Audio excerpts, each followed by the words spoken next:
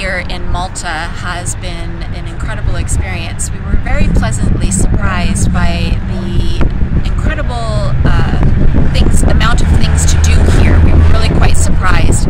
Um, everything from history, where we saw uh, Roman structures, we saw temples that dated back 5,000 years, we saw beautiful natural landscapes, including going to Comino and the Blue Lagoon, uh, seeing things such as St. Peter's uh, pools, which was just just so much beautiful scenery around the coastal area.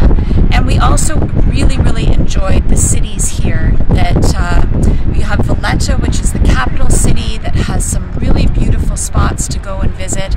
Uh, palazzos that are private that you can go in and see.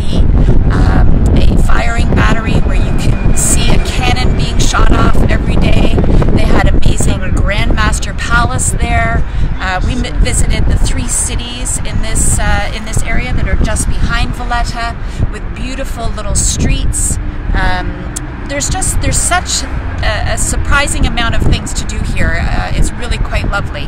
So between history and the natural spaces and the incredible food that we've experienced and the very friendly and welcoming people, I would definitely recommend uh, Malta as a place to add to your bucket list.